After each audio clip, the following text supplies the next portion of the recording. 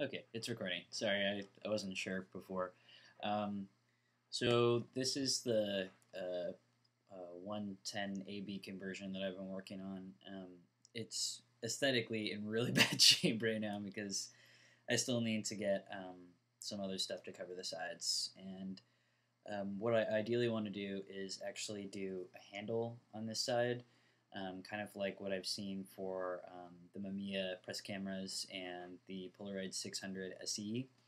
Um, you can see that one of the things that I did that was sort of unusual with my version is usually um, they leave the this side of the roller container on, on the side. I decided to cut it off um, because I thought it was heavy and I thought I could replace it with something nicer like uh, wood, something that I could really grip. Um, so I took that off. Uh, the other thing was when I purchased um, the viewfinder, i w- I'm doing the hybrid project, so um, I had to get a 900 Polaroid 900 viewfinder. That's what's on top here. Um, but I didn't. Uh, they didn't include the um, actual like cover, so hopefully that's coming too, or I might figure out some other way to replace it. Anyway, so I have tried my best to set it to infinity and correct any light leaks. So I'm hoping that it is going to work. Um, I have loaded some flat pack, uh, so you can see the leather and the wood that I'm working with right now. Um, so I've loaded some 3000 um, flat pack Fuji. Um, so I'm basically just going to take a light reading and give it a shot. Um, I've never used this particular lens before. Um, but it looks fairly straightforward. So yeah. Anyway, I've got a Luna Pro F uh, light meter. That's what I use um, in my house and also for flash work. Um, oh, yeah, I say it's totally wrong. So, okay. Alrighty, so the maximum aperture is 4.7, um, and I think I'm going to stop down a little just because I can't be absolutely sure about my focus. Um, so let's just see if I can get that to work. I'm going to try... Yeah, it's fucking dark in here.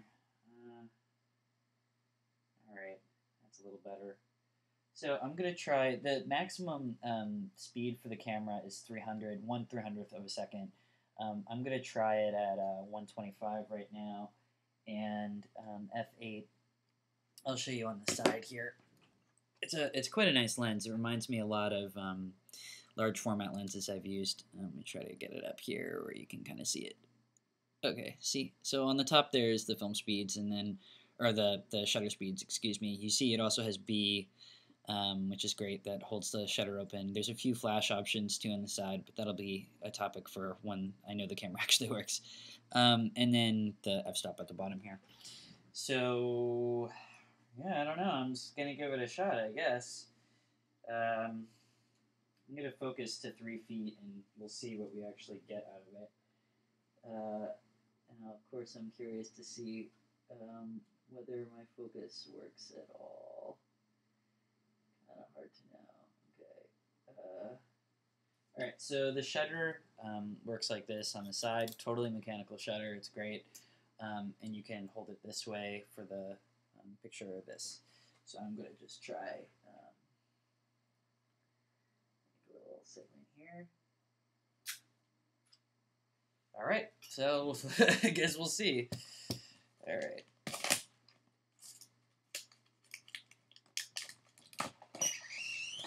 Oh, I love that sound. Okay, so um, black and white develops fairly quickly, um, except I keep mine in the fridge, so it develops slightly slower but we're waiting um, about 20 seconds. Um, yeah, this project is not for the uh, uh, not for the absolute beginner. I would say it, has been really tough, and um, it definitely stretched uh, the tools I had available. And if I had known what a pain in the ass it would be to um, saw through the metal, I might not have done both sides. But um, I decided it was really uh, important for me to get rid of as much excess weight as I could, um, because in general, this is one of the most pocketable um, Polaroid cameras that is at this quality that you can do. So, son of a bitch. All right, I I got a fucking picture. Sweet. Um, I can see what looks like possibly some light leaks, um, which I'm going to have to work on. It looks like the focus is correct according to what I thought it would be. Here's a picture of my bed. Very interesting. You can see some of it is in focus here. And the shutter looks about good. I probably actually would have let this develop maybe slightly longer, but I can see, oh, it's darkening even more now. Um, I can also see there's a lot of a lot of information on the negative, so it's looking pretty good. Um, so yeah, I mean, wonderfully, my camera does work. I have to figure out where these light leaks are coming from. I have, there are some suspects. um, I would say that one of the hardest parts of this project was um, trying to fix all the light leaks. Um, I can't open it up right now to show you um, just how many little cracks and crevices there are, but what I'm hoping is um, uh, I'm going to get some more um, Bondo. Uh, I was also using uh, Plutter, uh, Plumber's um, putty or epoxy. Um, yeah, Plutter's uh, Plumber's epoxy, um, but it dries a lot slower and it's a little bit grainier, and I don't really like the um, consistency of it as much. So, yeah, um, next steps are going to be to try to do a little bit more with the aesthetics, obviously, and um, try to fix all these light leaks, but I'm happy to report that I was able to make a functioning camera. Thank goodness. Um, so finally, the um, uh, what I've spent so far is, um, and let me put it in perspective. Uh, these cameras, like the ones sold by William Littman or on Option Eight on eBay, um, you can look those up because they do way more beautiful cameras than this um, uh, beautiful Frankenstein. Um, they go for anywhere from two thousand dollars to down to seven hundred or six hundred dollars. I've never seen them under that, um, which is kind of crazy when you think about that. Uh, a Polaroid 600 SE with a lens, with a, a Mamiya Sekor lens, I have seen them go on eBay for 500 to 600 dollars. And obviously, having interchangeable lenses on a Polaroid is awesome, and the Mamiya lenses are really great too. Um, so my my primary I mean, my primary thing was cost. I didn't want to spend that much, and I had a feeling I could build this for as cheap as I have built it.